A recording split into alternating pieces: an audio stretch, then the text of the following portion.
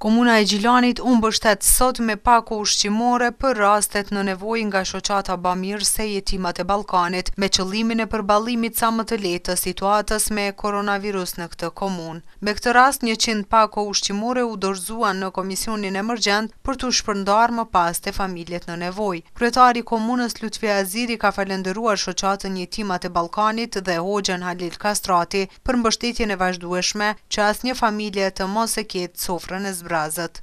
Sot në ditën e pandemisë kur po luftohet çdo ditë me të panjohurën, me Jetimat e Ballkanit po shpërndajmë ndihma për familjet në nevojë. Do të vazhdojmë aksionin, gjithë ato raste që kanë nevojë janë në evidenca, ne do t'ia afrojmë te shtëpia në mënyrë që mos me lanë asnjë sofër në komunën tonë pa ushqim edhe pa solidaritet. Faleminderit shumë! Hoxhë, faleminderit vullnetarëve të Jetimave të Ballkanit edhe gjithë donatorëve vullnetmirë që këto ditë të rana edhe në Kosovë edhe në Gjilan po i kalojmë bashkarisht. Ndërsa Halil Kastrati nga Jetimat e Ballkanit, ka thënë se pakot janë me produkte ushqimore dhe higjienike, ndërsa u zotua se po të ketë nevojë për më tepër do ta ndihmojnë Gjilanin.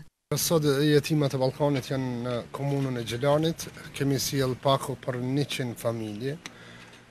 Pakot tona ma janë të njofshme me gjëra ushqimore higjienike dhe me nga një thes miell për secilën familje. Jemi çdo ditë në terren nëpër krejt komunat.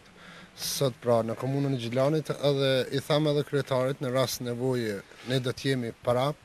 Haziri theksoi se këto ditë të rënda në gjithë Kosovën, por veçanërisht në Gjilan, po i kalojmë së bashku me shumë donatorë, me shumë njerëz të vullnetit të mirë, me vlerën më të madhe që e kemi, me solidaritet të jashtëzakonshëm mes vete.